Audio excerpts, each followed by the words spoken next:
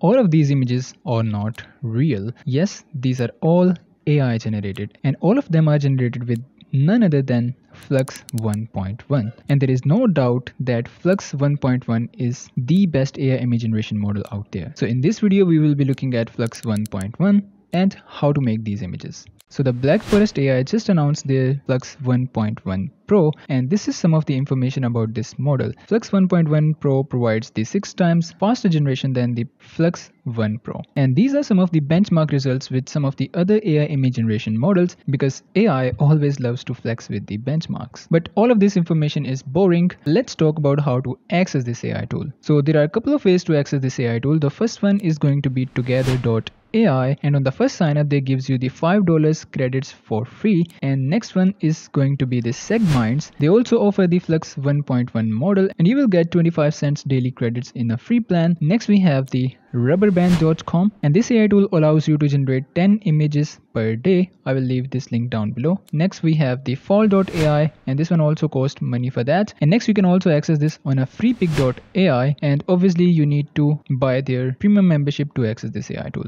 But today we will be using this on a together.ai and on the Segmind AI. So in together.ai, you can see we have very minimal parameters here, like you can adjust the height, you can adjust the width, we have the number of steps, random seed number, not too much parameters here. So let's give it a simple prompt like a beautiful woman standing on a New York street. Alright, so this is actually very fast and this is the output image and yes, it definitely looks like a typical AI generated image. You can see the background is very blurred, the skin is very smooth, there is some kind of shininess, polishness to the skin, and it looks like a typical Flux image. This is not a bad generation, but not as good as we have seen in the beginning of this video. Now to get those kind of results, there is a trick. So just type image, then underscore and then you can type any four random digits so let's say 1078 n.cr2 so basically this is the file format of a canon camera images. So let's see what we get out of it. Alright so this is the image. And if we look at this it looks like very unprofessional phone taken and uh, you know very old and realistic kind of image. Now let's try changing the digits. I don't know like 1456 and let's see. By the way, thanks to the AI search channel for sharing this awesome trick with us. And here is the output image. And again, this is very simple and generic image. It looks like someone has captured this image with his phone. Not too much professionalism in this one that makes it look very natural. Now you can also add some keywords to it like cat or maybe a dog and let's see what it comes up with. And Oh my god, just look at this output. It looks like a very typical image of a dog and can you detect that this is AI generated image? Because it looks like a very normal image. And let's try something else like a woman and let's see. And look at this output, man this is so realistic. And again i would say this is so much real that if you look at this image on instagram or on the internet you will not be able to detect that this is the ai generated image.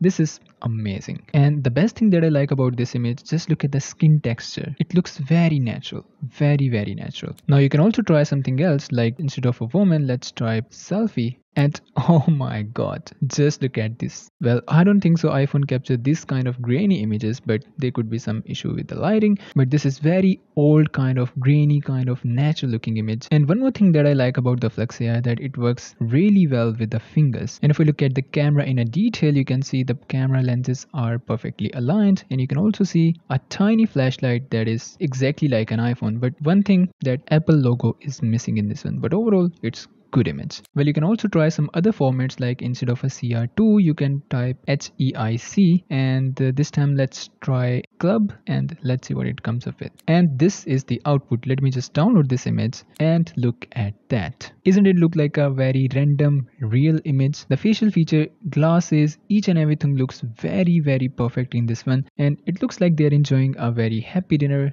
in a club but it doesn't look like this is a club it looks like a cafe or a restaurant something but just look at the image look at the realism this is crazy. Now one more thing that you need to remember that these tricks only work with the one or two word prompt. So let's say i want to type an old woman. So this will only work with the two to three words prompt. If you type a lengthy prompt this is not gonna work. So let's try old woman. Alright so here is the output image and look at that how realistic it is. Yes there is some funkiness going on with the hands even though flux ai performs really good with the hands but still in this one it didn't perform really well. But overall if we look at the image it is very very realistic and very natural looking image. So let's see what happens when you give it a longer prompt. So a woman wearing a leather jacket at cafe so here is the output and now you can see it looks like a typical AI generated image. I'm not saying this is the bad image but everything looks very perfect in this one. You can see the background is very blurred out just like other Flux images. There is some kind of shininess to the skin. The skin is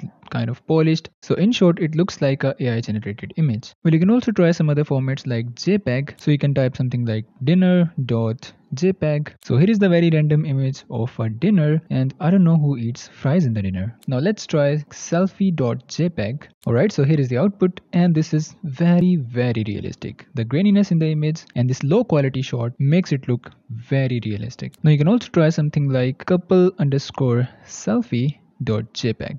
Alright, so here is the output and this is super super impressive. And i like the thing that how it maintains the you know that imperfection in the image the imperfect shadows lighting in that that makes it look like a very natural and hand taken photo. This is not looking like a very professional camera photo. This is just a random phone selfie. And here is the one more output with the same prompt and look at this man isn't it amazing? And I don't think so at this moment any other AI image generation model can generate this level of realism. This is crazy. So using this method will give you very realistic but random results. So if you will type a lengthy prompt, this is not gonna work. So that's it from today. I hope you enjoyed this video and if you find something helpful, do give it a thumbs up and see you guys in the next one.